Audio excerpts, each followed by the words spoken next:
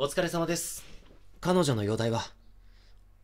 安定しているのに、まだ麻酔から覚めない。手術後は安定していたので、もうちょっと様子を見てみましょう。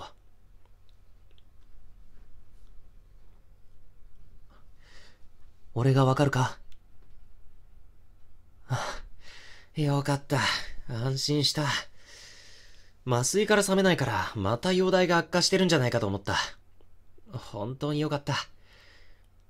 ごめん。聴診器で胸の音を聞かせてね。うん。大丈夫そうだね。苦しかったり、痛かったりはない大丈夫か。顔色も前よりかは良くなってるな。でも、心臓の病気だから、心臓が苦しい感じがしたら、すぐに看護師さんに行って、俺を呼んでもらってな。次心臓の発作が出たら、移植を考えなきゃいけなくなるからね。でも、お前を俺は死なせたりしない。絶対に助けるから。今のところ安定してるけど、手術をした時は心筋梗塞までなってたから、びっくりしたよ。気づいてあげられなくてごめんな。医者として失格だよな。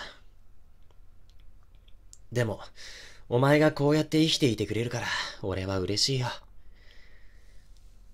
あとは、ゆっくり休んで一週間様子を見て、心臓の音が安定していれば病棟の方に移れるかもしれない。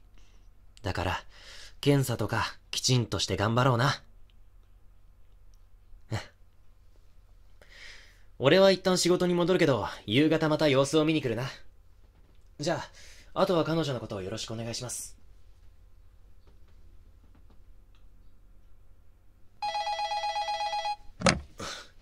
はい、どうしました？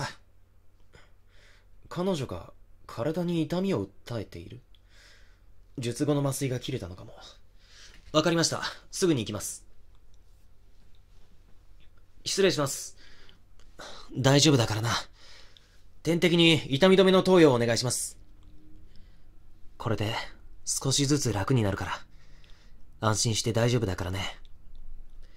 俺も仕事終わるし、今日はずっと一緒にいるから、頑張ろうな。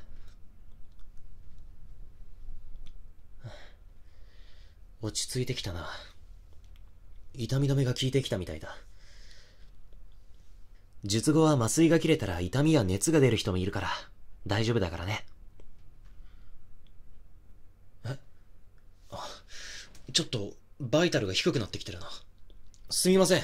念のために除細動器と救急カートを準備してもらっていいですか？バイタルが下がってきてるので、ちょっと心配で。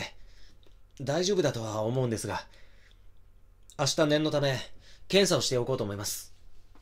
すみません。ご迷惑をおかけします。動画見てくれてありがとう。